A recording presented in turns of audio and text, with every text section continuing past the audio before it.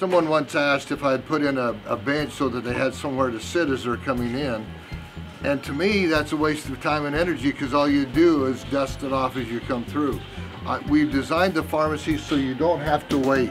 As you come in, there might be a line, but within 10 minutes, we've got you out of our store.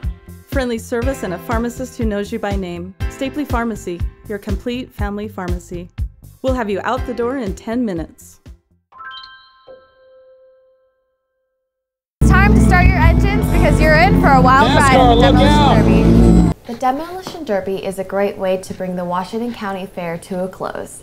This event is one of the most anticipated of the year. Crowds gathered on Thursday as the sun was setting to bring the 2013 Washington County Fair to a close.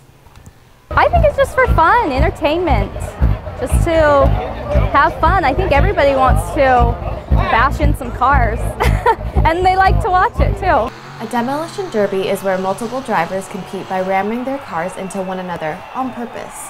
Hitting the driver's side door is prohibited and are means of disqualification. The last running car to make contact with another vehicle wins. The vehicles used in demolition derbies are not what you would see driving next to you on the street. It takes a lot of time and energy to build a vehicle and prepare it for a demolition derby.